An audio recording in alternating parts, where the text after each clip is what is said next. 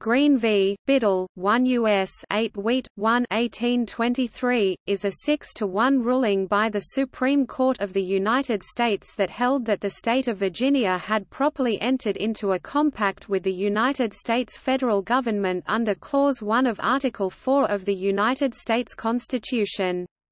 This compact surrendered Virginia's claim to the area that eventually became the state of Kentucky, but imposed restrictions on Kentucky's ability to upset title to land sold or otherwise granted by the state of Virginia at the time of the compact. The Supreme Court held that legislation enacted by Kentucky that restricted these rights unconstitutionally infringed on Virginia's right to surrender the land in accordance with Article 4, Clause 1.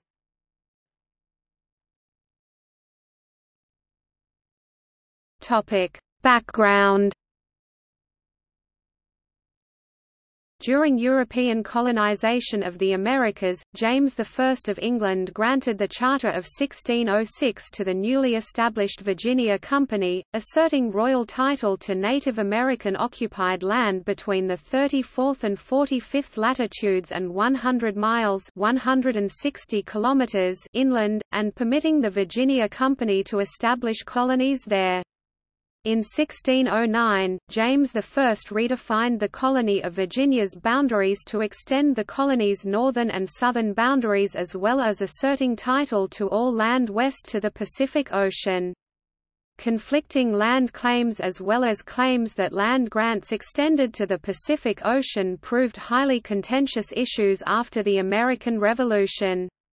To help resolve the issue, in 1781 Virginia agreed to surrender to the United States federal government all title to its land claims west of the Ohio River, in the compact between Virginia and the United States under which Virginia surrendered its territory was the following clause ellipsis in original, that all private rights and interests of lands within the said district of Kentucky derived from the laws of Virginia prior to such separation shall remain valid and secure under the laws of the proposed state, and shall be determined by the laws now existing in this state. Title was transferred in 1784, and the Congress of the Confederation passed the Land Ordinance of 1784, Land Ordinance of 1785, and the Northwest Ordinance to turn these lands into territories and eventually states.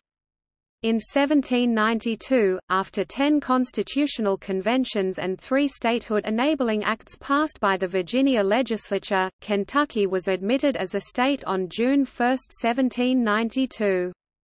The terms of the Virginia-U.S. Compact regarding title to land was included in the Constitution of Kentucky. On February 27, 1797, the state of Kentucky passed legislation protecting individuals who had title to their land stripped from them due to improper conveyance.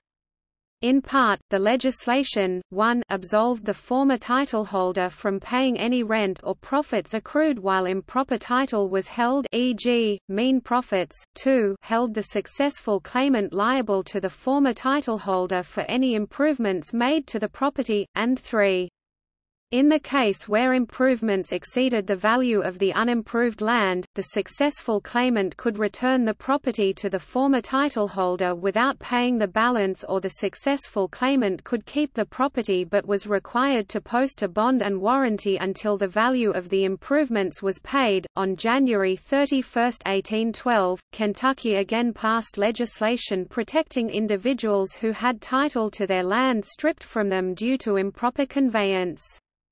This second legislation, in part, 1 required successful claimants to pay to ejected titleholders, 2 the successful claimant may avoid paying the value of the improvements by relinquishing the land and accepting payment in the amount of the value of the unimproved property instead, or may keep the land but must post bond and warranty if the value of improvements exceeds three-fourths of the value of the unimproved property. 3. The ejected titleholder is responsible for paying rents and profits on the property after judgment against him, but only up to a period not to exceed five years after the ruling against him, and four courts must ascertain the value of land, rents, and profits in such cases. The heirs of John Green sued Richard Biddle to reclaim title to certain land in the state of Kentucky.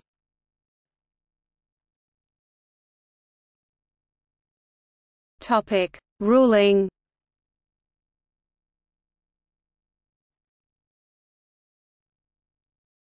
Topic: Majority opinion. Associate Justice Joseph Story delivered the opinion of the court. For the majority, the primary question was whether the two Kentucky legislative acts were constitutional. Justice Story conceded that each state has the sovereign right to determine the legal structure under which property may be conveyed and title settled. That right was exercised by Virginia when it agreed to the compact surrendering its lands to the United States, however, and that compact declared, in the most explicit terms that all private rights and interests of lands, derived from the laws of Virginia, shall remain valid and secure under the laws of Kentucky, and shall be determined by the laws then existing in Virginia. The question before the court, then, was whether the Acts of 1797 and 1812 restricted titleholders' rights enumerated under Virginia law at the time the compact entered into force in 1784. Story concluded for the majority that those rights were restricted, holding that the Kentucky legislation was an unconstitutional infringement on Virginia's sovereign rights as defined in the compact. Justice Bushrod Washington did not participate in this decision.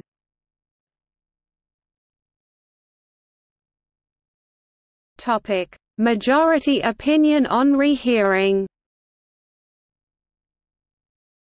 Kentucky moved for an immediate rehearing. Justice Washington participated in the decision of the court, and delivered the decision of the court. Justice Washington reviewed the pertinent legislative language in the 1797 and 1812 Kentucky Acts. The similarities and differences between the Kentucky Acts on the one hand and Virginia law and European and developing American common law on the other were compared and contrasted. However, he concluded, the Kentucky Acts restricted titleholders' rights and imposed duties and responsibilities on them that Virginia law and court decisions did not contain. Justice Washington then reviewed two additional claims, one, that the Kentucky Acts were unconstitutional for Congress had not assented to Virginia's restrictions upon that state, and 2 that the Kentucky Acts violated Virginia's sovereignty over the land previously held by it and surrendered only until terms of the Compact of 1784. The first claim, Washington observed, was based on the idea that Congress had not given its explicit consent to specific article in question in the compact. He rejected this argument, concluding that the Act of Congress was not a mere tacit acquiescence, but an express declaration of the legislative mind, resulting from the manifest construction of the Act itself.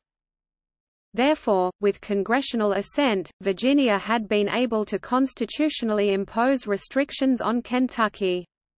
As to the second claim, the majority held that the Constitution specifically barred any attempt to impair the obligations of contract.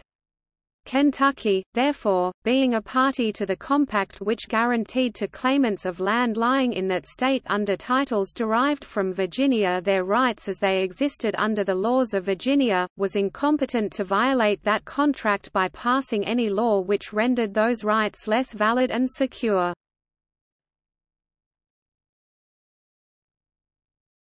Topic: Dissenting opinion. Associate Justice William Johnson dissented. To Johnson, the first question was whether the Kentucky Acts were constitutional.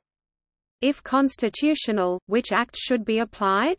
The suit was filed after the legislation of 1797 was enacted, but before the legislation of 1812 was enacted. Johnson declined to rule on the first question, as it had not been raised on appeal. He did feel compelled to comment on one aspect of the case, however. Kentucky had argued that it had recognized Virginia's 1784 compact as a compact, but not as fundamental law. Was this true? In dicta, Johnson argued that this provision of the Kentucky Constitution did not limit Kentucky's sovereignty over its own land. To conclude that Congress, Kentucky, and Virginia had so intended would lead to a particularly undesirable result. This would be cutting deep indeed into the sovereign powers of Kentucky, and would be establishing the anomaly of a territory over which no government could legislate, not Virginia, for she had parted with the sovereignty, not Kentucky, for the laws of Virginia were irrevocably fastened upon two-thirds of her territory. So was the Kentucky Constitution meaningless?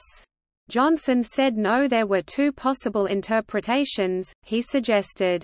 The first was that the Kentucky lands were not «land» in the legal sense, as no state yet existed to cover them, but that Virginia intended for titleholders in the area to have their rights protected to a great degree as if they held title to actual land. A second interpretation viewed Virginia's stipulations as similar to those nations imposed on each another to protect basic rights such as the right to recover goods from a wreck or pirate.